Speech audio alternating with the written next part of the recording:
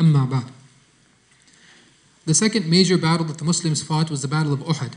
And we know that one of the most significant things that happened in this battle was the death of the Prophet's uncle who was very beloved to him, Hamza radiallahu anhu.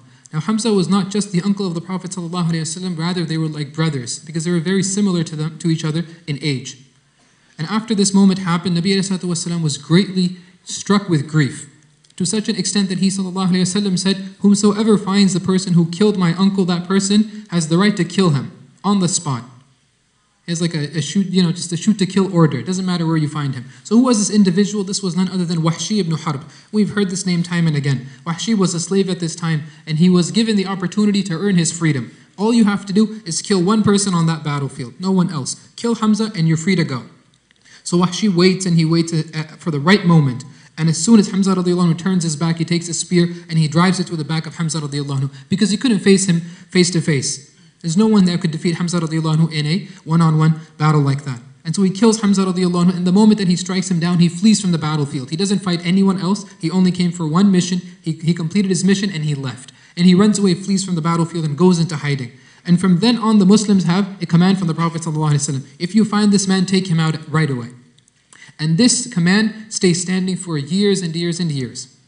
Until eventually the Prophet of Allah ﷺ does something only the Prophet of Allah could do. What is that? He sends someone to give da'wah to Wahshi ibn Harb. Nabi Sallallahu forgives him. And he sends somebody. فأرسل رسول الله صلى الله عليه وسلم إلى وحشي بن حرب قاتل حمزة يدعوه إلى الإسلام. Calling him, why don't you accept Islam? Now imagine. By the way, Wahshi is hiding out in Ta'if. He's hiding out in the city of Ta'if, and we have heard a great deal about it, most likely in this week. And so then the messenger, he comes, the messenger of the messenger of Allah comes to him.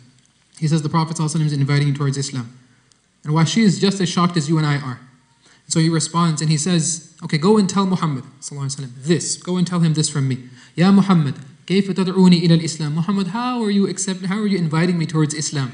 وأنت تزعم أن من قتل أو زنى أو أشرك يلقى عثاما يضاعف له العذاب يوم القيامة ويخلد فيه مهانا so you, you mean to tell me you're inviting me towards Islam when your own Lord, your own book says the person who does zina, the person who does shirk, the person who commits murder, that person will be thrown in hellfire. They will be humiliated on the day of judgment and be punished severely forever. That's what your own book says. And so Allah subhanahu wa ta'ala, the, the messenger comes back to the Prophet and he says, This is what Wahshi says. Allah subhanahu wa ta'ala reveals another ayah. And so then Allah subhanahu wa ta'ala tells Nabi wasalam, who tells the messenger, who goes all the way back to Wahshi ibn Harb, and he says that Allah subhanahu wa ta'ala has said something else. He says, إِلَّا مَنْ تَابَ وَآمَنَ وَعَمِلَ صَالِحًا فَأُولَٰئِكَ يُبَدِّلُ اللَّهُ سَيِّئَاتِهِمْ حَسَنَاتٍ وَكَانَ اللَّهُ غَفُورًا رَحِيمًا And he says that Allah subhanahu wa ta'ala says this applies to everyone except the person who does tawbah and the person brings iman in Allah and then they do good deeds after that. If you do that, Allah will turn all of your bad deeds into good deeds. Now, I mean, that's, that's a pretty good deal, right? Wahshi ibn Harbi hears this. And again, Wahshi being Wahshi, look at how he responds. He thinks about it for a minute and he says, hold on. He said, okay, go tell Muhammad this. هذا شرط شديد. It's a pretty strict condition that you have placed on me here. Right? إلا من تاب وآمن وعمل صالحا. He said, you want me to do tawbah and bring iman and do good deeds? لعلي لا أقدر على هذا. I don't know if I can do all of this. I got to do all of these things to get your God's forgiveness. No, no, no, this is too much for me. I'm a simple man. I can't do all of this. And so the messenger goes all the way back to the Prophet ﷺ. He said, this is what Wahshi said. And then Allah subhanahu wa ta'ala reveals another ayah. And so the messenger goes, the messenger of the messenger goes all the way back to Ta'if again. And he talks to Wahshi ibn Harb. And he says, Allah subhanahu wa ta'ala has said that just for you. He says that Allah subhanahu wa ta'ala is willing to forgive a person so long as they do not commit shirk. As long as you don't do shirk, Allah will forgive. So it doesn't matter what you have done. Don't worry. You don't even have to do anything. Just don't do shirk. And he says, come on, like, there's no other better deal than this, right? Just don't do shirk. That's all you have to do. Wahshi hears this and he thinks about it for a minute and he says, هَذَا He said, okay, go and tell Muhammad this. He said, this depends on if Allah wants to forgive me. Because Allah says, لِمَن يَشَاءُ What if Allah doesn't want to forgive me then?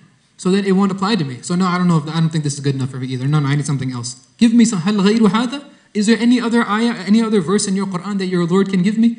And the messenger goes back for a third time, and Allah subhanahu wa ta'ala reveals another ayah. And the man takes it, and he goes all the way back to Wahshi ibn Harb again for another time. And he says that your Lord has revealed, subhanahu wa ta'ala. قل يا عبادي الذين أسرفوا على أنفسهم لا تقنطوا من رحمة الله إن الله يغفر الذنوب جميعا he says that, O my slaves and servants who have transgressed on themselves, and you have done sins that you feel regret for and remorse over, don't worry. Allah forgives all sins. All sins. Wahshi, he hears this and he says, Hadha fanam. This is what I've been waiting for. Travels all the way to Medina and accepts Islam. Wahshi ibn Harb. Now imagine a person like, hopefully, I don't think any one of us has done anything like Wahshi ibn Harb did. And yet, Allah subhanahu wa ta'ala's forgiveness and the mercy of the Prophet ﷺ is so vast that he was waiting for them. It just took time. And eventually Wahshi ibn Harb himself comes to the Messenger sallallahu alayhi wasallam. Nabi open, opens his arms for him, opens the masjid of the Prophet sallallahu for him, and he welcomes him in. And now he is considered from the Sahaba of the Prophet sallallahu alaihi wasallam. Allah has promised all of them goodness. Imagine how Allah subhanahu can turn a person's leaf, new chapter in their life. All his sins are forgiven. And now we know that that person will be with the Prophet of Allah in Jannah. We have no idea what future is waiting for us. All you have to do is turn towards Allah subhanahu wa ta'ala. Let Allah write your final destiny. It is all in His control. Let's take this moment to make tawbah to Allah subhanahu wa ta'ala and ask Him for forgiveness. أقول قولي هذا وأستغفر الله لي ولكم ولسائر المسلمين فاستغفروا إنه الغفور الرحيم.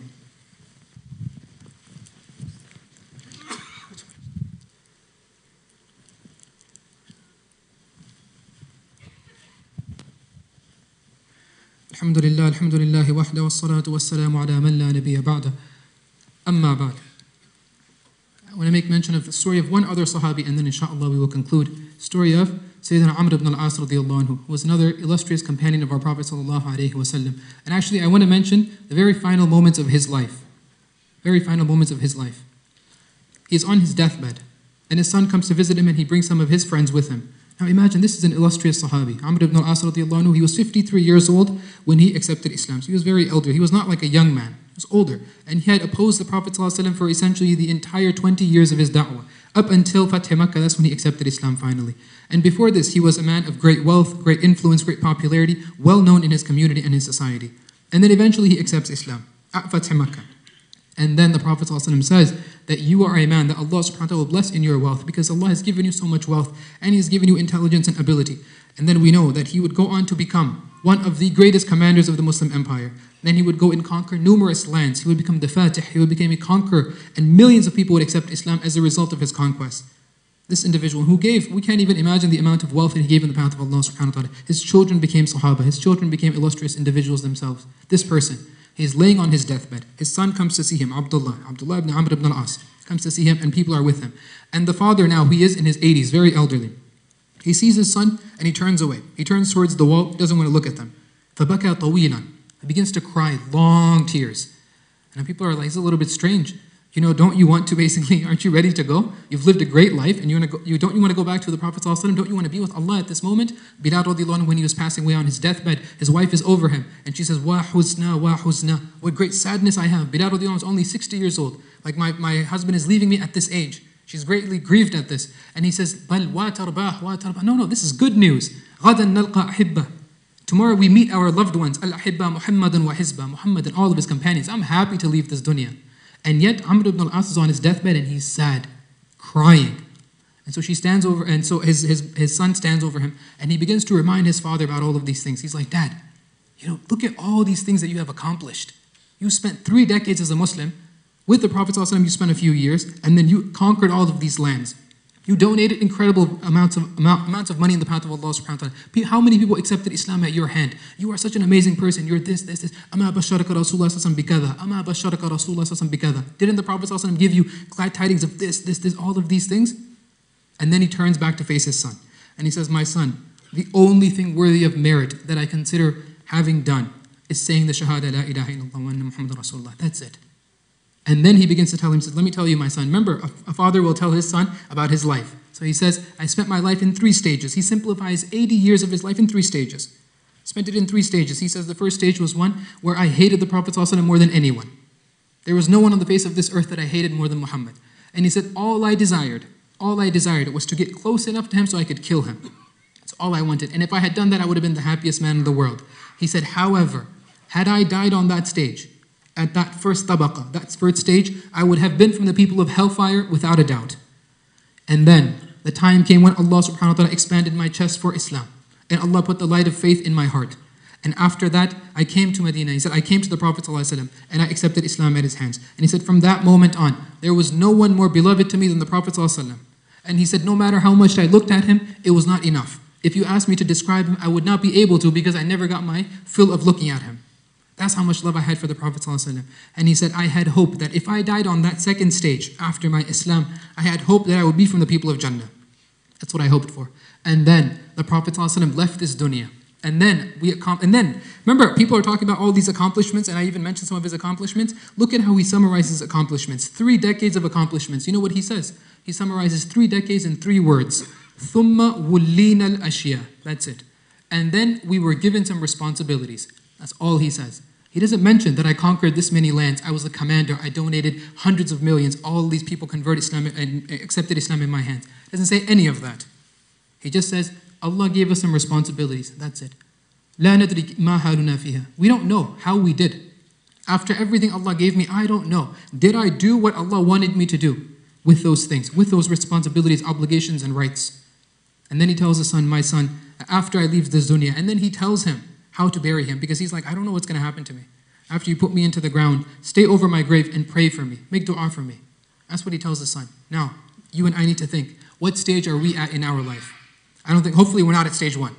But definitely, we might be at stage two. When a person has, you know, Allah subhanahu wa ta'ala gives them that guidance and then they start practicing again and they start getting that nearness to Allah subhanahu wa ta'ala, following the sunnah of the Prophet and you feel you're on stage two and you're at an iman high, you love that feeling. You're like, I'm ready to go. Allah, I'm ready. Let's do this.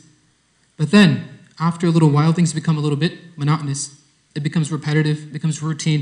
You just come to the masjid because you have to. You come to Jum'ah because you've always come to Jum'ah. You pray because everyone prays. You fast because, yeah, that's what Muslims do. You give charity because, yeah, of course, I got to get a little bit of my money to charity.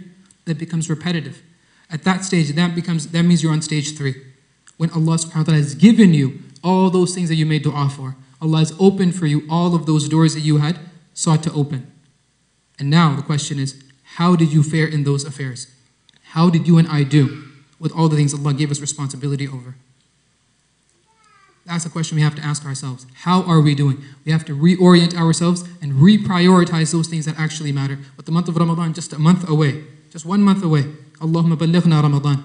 With just one month away, we have to actually reorient ourselves that this Ramadan is going to be something that changes my life again and again and again. So I feel like I'm starting stage two again and again and again, every single time. May Allah subhanahu wa ta'ala give us tawfiq.